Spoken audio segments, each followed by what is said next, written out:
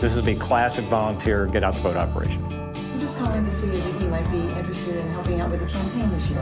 Okay, well, you have a great day. Hi there. Hi there. Is this is Hillary Clinton country? This is Hillary Land. And it's going to be Hillary Land for four years at least. Yeah, you think so? Oh, yes. Tell me what's going on here. This is my home, and I am the phone bank queen. You're the phone bank And I've been queen. doing this for four campaigns. Have I, you I did it for Obama twice. I did it for Kerry. I did 18,535 phone calls for President Obama, and he thanked me in person. And how many are you going to do this time around? Uh, probably not that many. yeah. Yeah, probably not that many. I was younger then, you know. We know you're someone that cares about the community and volunteers, and we can't afford to take anything for granted in this election. In a state like Florida, turning out voters is super important. We are doing voter registrations. Many, many people in this state I found are not registered to vote. It's a lot of work, but it's worth it.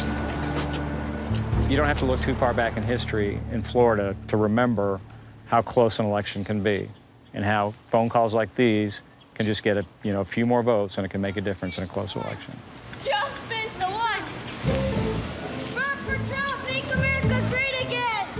Is a swing state and a swing neighborhood, obviously. We've got Hillary supporters and Trump supporters.